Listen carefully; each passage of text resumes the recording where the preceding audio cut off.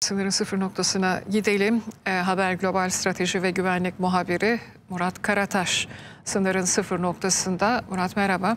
E, şimdi tabii olan biteni an be an aktarıyorsun. Yani zaman zaman e, eş zamanlı olarak patlamalarla birlikte de e, oranın nabzını tutuyorsun. Şimdi daha önce de zaten burada e, konuşmuştuk. E, nihayetinde e, Gazze'ye yönelik bir soykırım var. İsrail tarafından devam eden e, ve o çerçevede çok net bir biçimde isim vermeyen e, İsrail istihbarat yetkilileri o da ABD basında bir takım iddialarda bulunuyorlardı. Yani işte Türkiye'de barınan e, 7 Ekim faillerinin suikastlarla durdurulacağı falan gibi yani özetle şunu demek istiyorum. Aynı şeyi KKTC için de söylüyorlardı.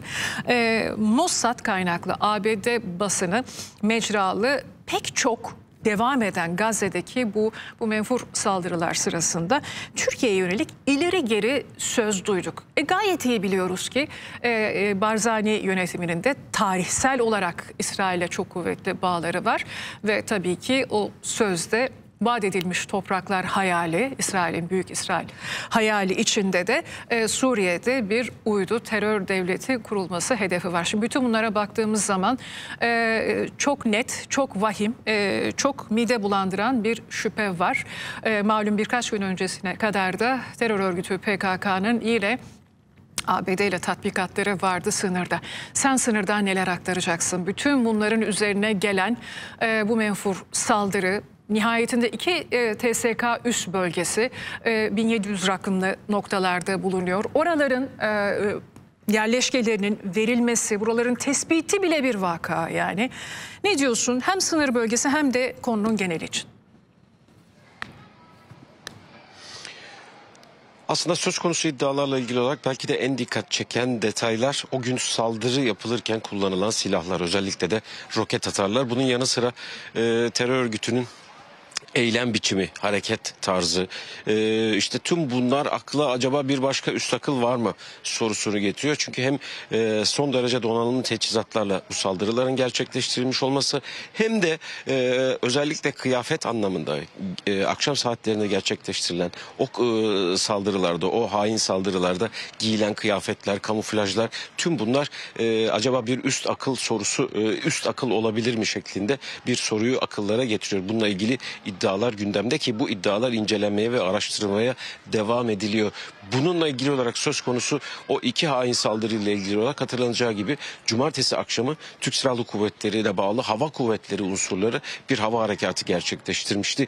29 tespit edilen hedef imha edilmişti. Nerede? Hem Suriye'nin hem Irak'ın kuzeyinde bu hedefler e, imha edilmişti ve bugün e, haftanın ilk günü haftanın ilk günü başladığında bir anda hemen e, şu an biz Mardin'in Nusaybin ilçesinde bulunuyoruz. Hemen karşımız Suriye Kamışlı e, ilçesi. Kamışlı'dan saat 11 itibariyle aralıklarla patlama sesleri duymaya başladık.